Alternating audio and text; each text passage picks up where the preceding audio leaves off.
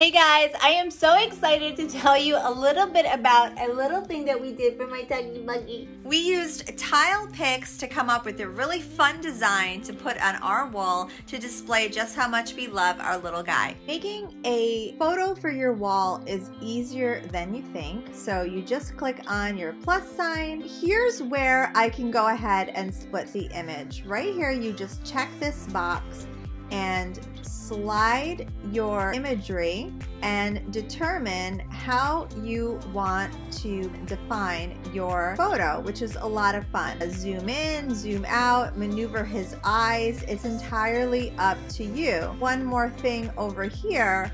If you say no gap, you can really tighten up the way that the image shows and displays.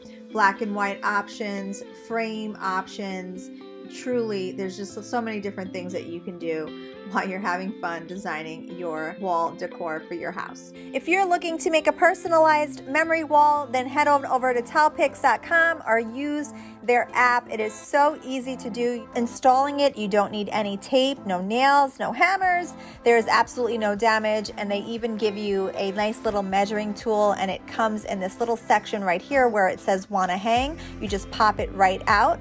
I placed everything on the floor and I measured it out. It was very easy to do. I assembled and then we sort of went to town. And as you can see, my little Tucker was very excited about the whole entire process.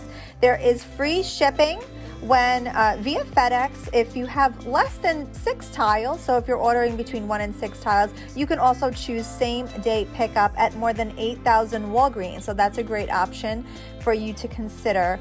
The memory walls that you make are really easy to assemble. As you can see, my husband is simply using the magnetic strips that are attached to the back of each tile and then he is just placing them right on the wall.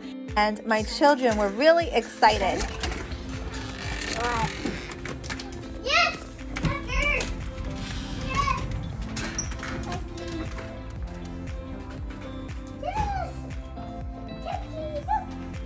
Here's the final photo.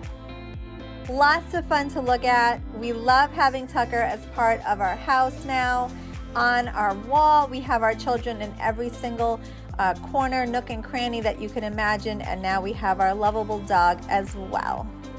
Be sure to head on over to tilepix.com or head on over to Lady and the blog to learn more about my personal experience.